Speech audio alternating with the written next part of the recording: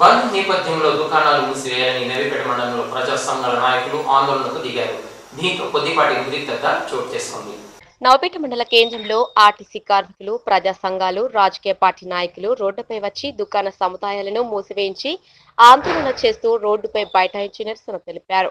నిజామాబాద్ నుండి నవీపేట్ బాసర మీదుగా బైన్సా వెళ్తున్న ఆర్టీసీ బస్సులను అడ్డుకోవడంతో కొంత ఉద్రిక్తత పరిస్థితి ఏర్పడడంతో స్థానిక ఎస్ఐ వెంకటేశ్వర్లు ఆధ్వర్యంలో పోలీసులు కలగజేసుకుని ఆర్టీసీ బస్సులను పోలీస్ స్టేషన్కు తరలించి పరిస్థితులను చక్కదిద్దారు.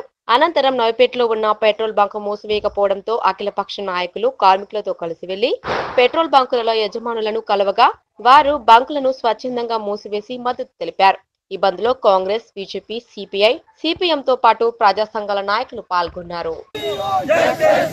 KCR KCR KCR KCR CM CM CM